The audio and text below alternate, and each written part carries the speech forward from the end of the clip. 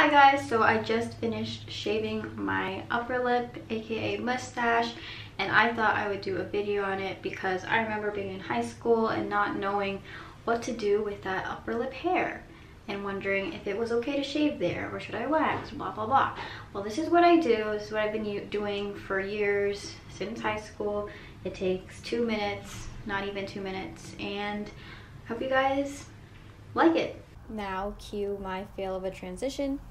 I use a facial razor, which I got from Amazon from a brand called Tinkle, which I'll link below, but you can also use a body razor.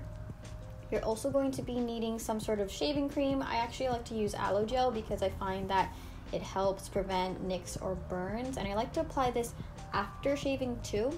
So you see that I don't have too much hair going on, but in person you can see it.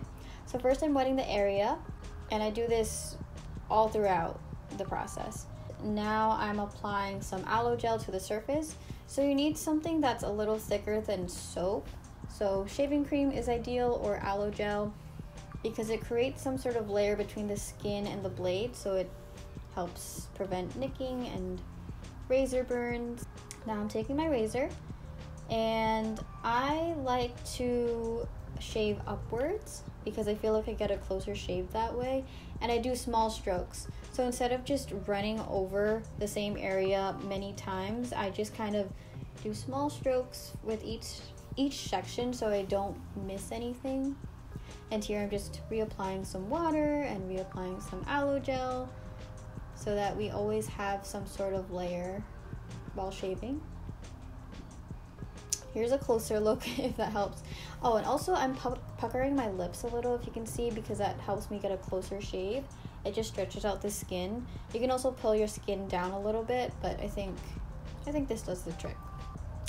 I always inspect my razor after just to see if I got any hairs. It's kind of gross. You don't want to see this, you don't have to, but I it helps me confirm that I've done what I wanted to do.